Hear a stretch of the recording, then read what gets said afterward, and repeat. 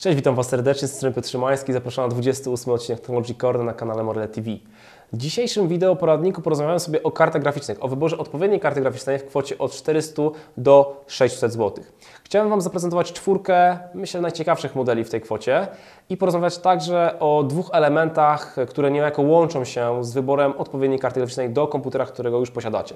Oczywiście e, nie będzie to poradnik, który będzie mówił o wyborze karty graficznej do nowego zestawu. Chciałbym porozmawiać raczej o tych osobach, które zastanawiają się nad dokupieniem karty graficznej do zestawu, który już posiadacie.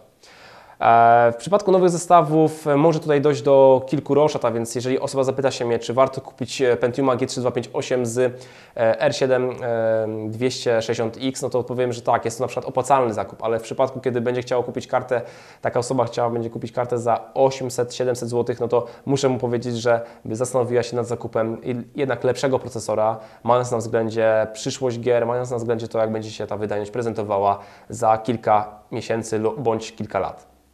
E, no dobra, ale wracając do dwóch kwestii, które niejako łączą się z wyborem karty graficznej. Przede wszystkim jest, są to kwestie zasilacza i procesora. Zaczniemy sobie od zasilacza niejako najważniejszego elementu komputera, ponieważ bez zasilacza komputer nie mógłby stabilnie funkcjonować, nie mógłby zostać w ogóle uruchomiony. Ale zasilacz to także bardzo ważny element od strony stabilności, ponieważ w przypadku niemarkowego zasilacza, często bazującego na bardzo niskiej jakości elementach, możecie spotkać się z problemami właśnie ze stabilnością. Jeżeli dokupujecie kartę graficzną za 400, 500, 600 zł, to niestety, ale ona naturalnie ma jakieś wymagania od strony zasilania.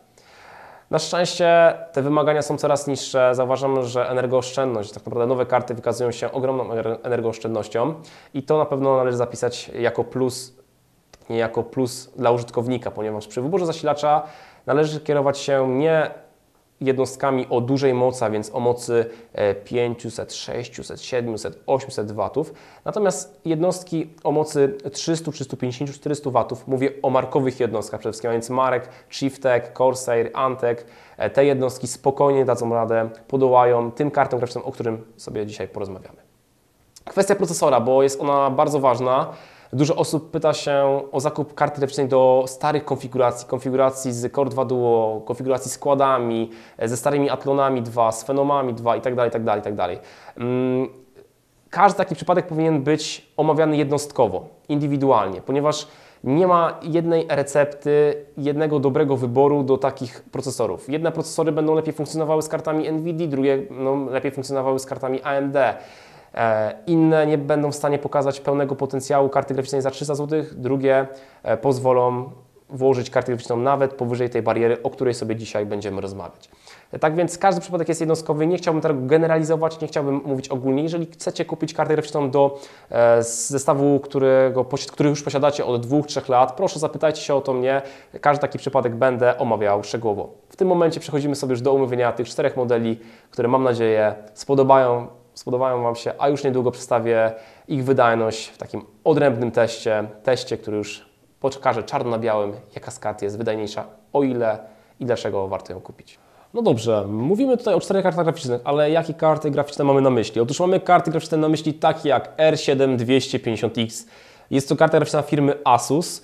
Karta graficzna, która objęta jest trzyletnim okresem gwarancyjnym, która wyposażona została w całkiem przyzwoity układ chłodzenia. No i co najważniejsze, wygrywa ona konkurencję z GTX 650, a więc z GeForce'em, który jest niejako naturalnym konkurentem dla tej karty graficznej, ale trzeba przyznać, że przegrywa on rywalizację z modelem Radeona. To karta graficzna, która kosztuje 385 zł, ale trzeba mieć, e, trzeba mieć po prostu, trzeba wiedzieć o tym, że ona kosztowała jeszcze niedawno 350 zł. Niestety, ale kurs dolara spowodował, że cena jej poszybowała zdecydowanie w górę i w tym momencie jest ona takim średnio opłacalnym wyborem, jeśli zaraz spojrzymy na drugą kartę graficzną.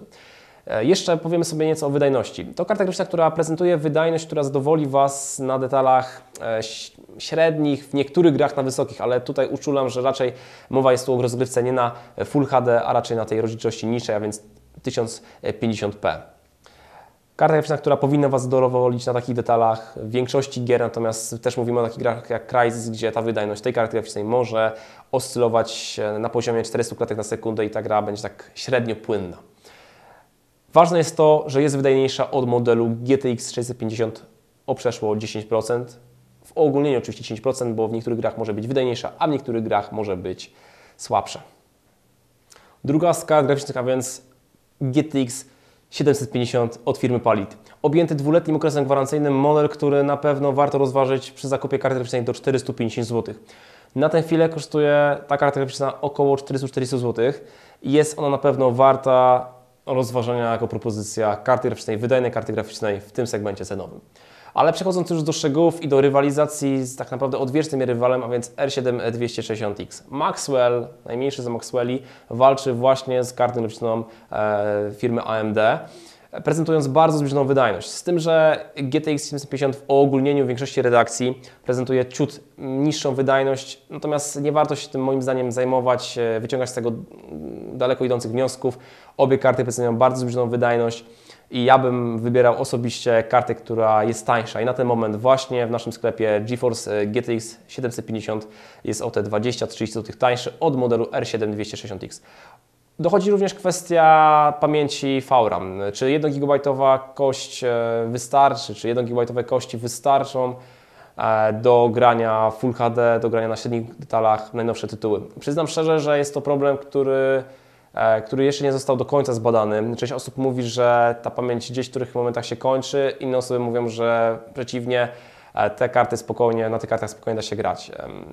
Powiem tak, mam nadzieję, że już niedługo będę miał okazję sprawdzić to sprawdzić i pokazać Wam, jak to wygląda w rzeczywistości, czy nie występuje jakieś wolne doczytywanie tekstur przy tych kartach, kartach e, m.in. R7260X z 1 GB VRAM. Tym się zajmiemy. A więc kwota 450 zł, moim zdaniem numer jeden wybór GTX 750. Karta, co ważne, z dużym potencjałem do overclockingu, więc do podkręcania. Warto ją podkręcać, zyskać naprawdę sporą ilość klatek, jeśli zainteresujecie się OC Maxwella, mini Maxwella. W tym momencie wybieramy kartę graficzną do 550 zł. Zwiększamy ten budżet o niemalże 100 zł i na naszych oczach okazuje się GTX 750 Ti. Karta graficzna, która potrafi być wydajniejsza od modelu GTX 750 o średnio 10, a nawet 15%. jeszcze chciałbym dodać do, tam, do tamtej karty graficznej, a więc do GTX 750, że GTX 750 potrafi być wydajniejsza od modelu R7 250X o średnio 10 bądź 15 lub nawet 20%, wszystko w zależności od danej gry. Tak więc jak widzicie, dokładając kilkadziesiąt złotych przeskakujemy niemalże o 15-20% wydajności z każdą kolejną kartą graficzną. E, to zupełnie inaczej wygląda niż w przypadku tych kart graficznych, które kosztują 800, 1000, 1400 zł. Tam dopłacając na przykład 400 zł, otrzymujemy kartę graficzną, która prezentuje 20% e, więcej wydajności. No wiadomo, inaczej określa się wydajność, jeśli mówimy tutaj o graniu w 20 klatkach i otrzymujemy 20%, no to rzeczywiście i tak nie otrzymujemy karty graficznej, która prezentuje wysoką wydajność. Natomiast trzeba sobie to uzmysłowić, jeśli chodzi o ujęcie procentowe, e, szczególnie przy tych niższych kwotach, e, niewiele dopłacając możemy dużo zyskać. Tak więc to tyle. E, jeśli chodzi o trzeci nasz model w naszym zestawieniu, GTX 750 Ti, a więc mamy już takiego troszeczkę większego Maxwella, jest to karta graficzna bardzo ciekawa z dwóch względów, a nawet z trzech względów. Niski pobór mocy, ekstremalnie niski pobór mocy. Mogliście się już o tym przekonać e, w niedawnym teście e, komputera za 1500 zł. I druga kwestia jest taka, że karta graficzna prezentuje świetne możliwości OC i przyzwoitą wydajność. Wydajność, która pozwala grać Wam na detalach średnio wysokich większość tytułów na 1080p. Karta graficzna wyposażona w 2 GB VRAM, a więc odpowiednią ilość przy, przy tej klasie karty graficznej w rozdzielczości Full HD. W kwocie 550 zł wybór idealny. Model Asusa objęty trzecią gwarancją myślę, że sprawi troszeczkę kłopotów, jeśli chodzi o kulturę pracy, natomiast nie możecie w tej kwocie oczekiwać niczego lepszego. Modele e, z dwusystemowymi, przepraszam, z, dwu, z dwoma wentylatorami niestety, ale kosztują e, prawie 600 zł i w tym momencie już dochodzimy do kolejnej karty graficznej, o której będziemy sobie za momencik mówić. Przechodzimy do czwartej karty graficznej, ostatniej w naszym zestawieniu, wieńczącej E, zestawienie do 600 zł, kart graficznych do kwoty 600 zł. Mamy model R7 265, ostatni z modeli serii R7, e, najwydajniejszy model z tej serii i powiem tak, jest to karta graficzna, która przez większość czasu żyła gdzieś w ukryciu. Nie była przez wielu osób, wielu osobom nie była znana, natomiast w od dwóch, trzech, czterech miesięcy pojawia się coraz częściej w zestawieniach, czy też moich, czy innych osób. Jest to karta graficzna, która moim zdaniem prezentuje wydajność całkiem ciekawą, z, jednak zauważalnie wyższą od modelu GTX e, 750 Ti. No i tu trzeba przyznać, że znowu dochodzi kwestia pamięci, szyny pamięci, a więc ta karta dysponuje e, szyną pamięci o rozmiarze 256 bitów, a więc szczególnie w rozdzielczości Full HD w grach, które bazują na szerokości szyny, ta wydajność może być ciut większa od modelu GTX 750 Ti.